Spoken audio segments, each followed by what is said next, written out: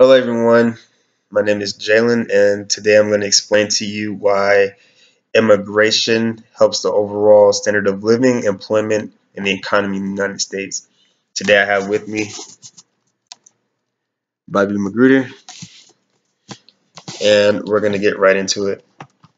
So, start off by explaining what economics is. Economics is the study of how humans make choices under conditions of scarcity.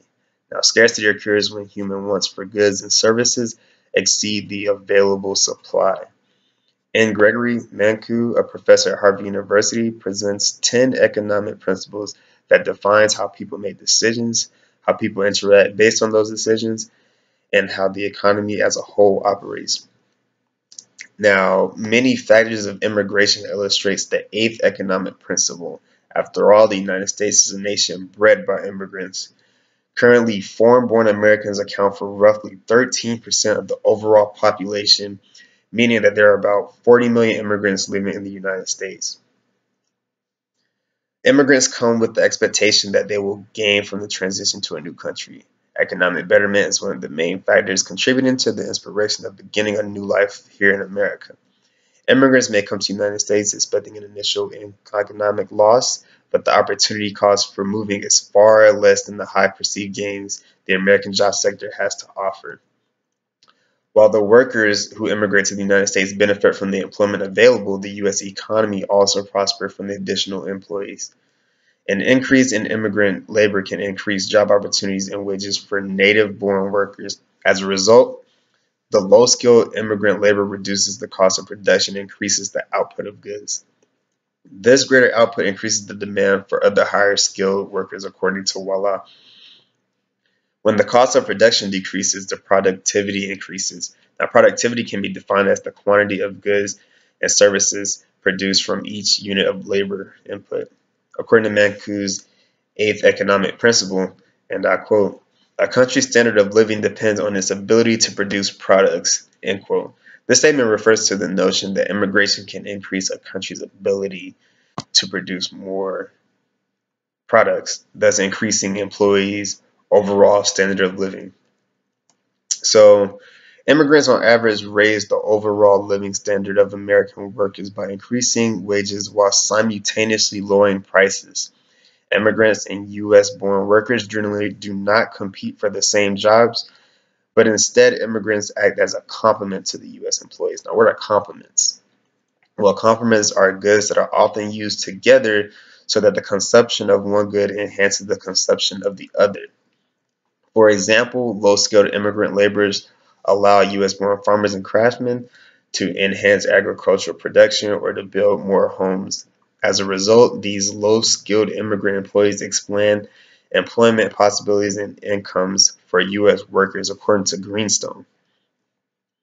Um, another reason why immigrants serve as a complement to U.S. born workers is due to the added supply for employees in the workforce. So businesses adjust to the immigrants by opening stores, restaurants, or production facilities. The presence of immigrants in the United States employee, employment sector connects with Mankiw's eighth principle. When low skilled immigrants serve as complements to U.S. born workers, the cost of production decreases, allowing for an increase in the output of goods the company uh, produces.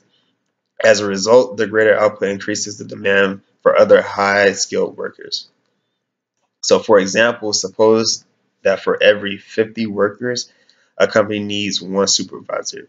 If the company increases the number of production workers, they will need more supervisors, thus the supervisors' wages being increased. An increased number of immigrants will then raise the wages of those domestic workers who are their complements.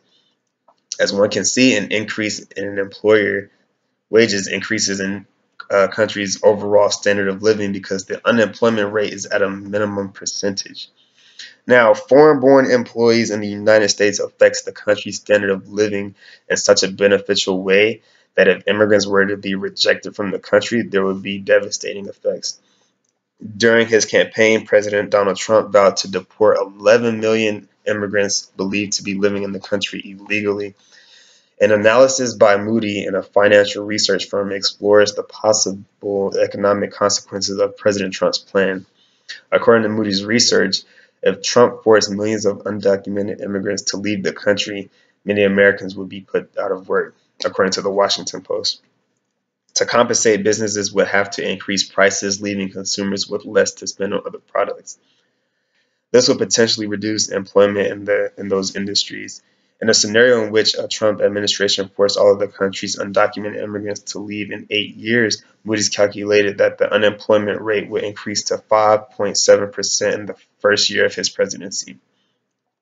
So, as you can see, immigrants impact the country's standard of living due to their participation in the production process. When workers are complementary, as an increase in um, immig- immigrant labor can increase job opportunities and wages for native born workers. For example, immigrant workers account for 22% of the construction workforce.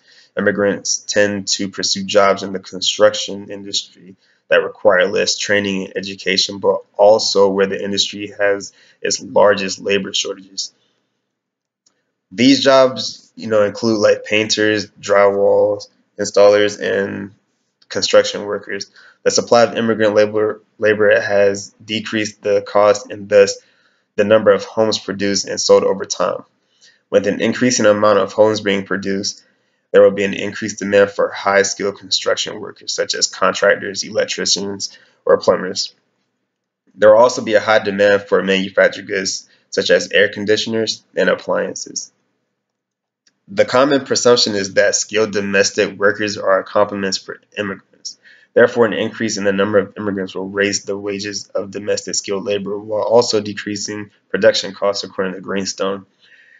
Therefore, the country is able to produce more with the use of immigrants as complements. This statement reaffirms Mankiw's eighth economic principle that, and I quote, a country's standard of living depends on its ability to produce products, end quote. President Trump's deportation can have a detrimental effect on the U.S. economy. According to the Washington Post, even if only 3.7% of the people in the country were to leave, the changes in the labor market would still be profound. Moody's calculated that prices would be 1.4% higher in five years. So, as you can see, immigrants in the United States have a significant impact on the economy. An increase in immigrant labor increases wages and employment for native born workers. As a result, the low skilled immigrant labor reduces the cost of production and increases the output of goods. I mentioned how the greater output also increases the demand for high skilled workers. And I mentioned how President Donald Trump's plan would negatively impact the economy if he were to deport the 11 million immigrants he claimed to deport during his campaign. As you can see, Immigrants help enhance the country's standard of living and the economy.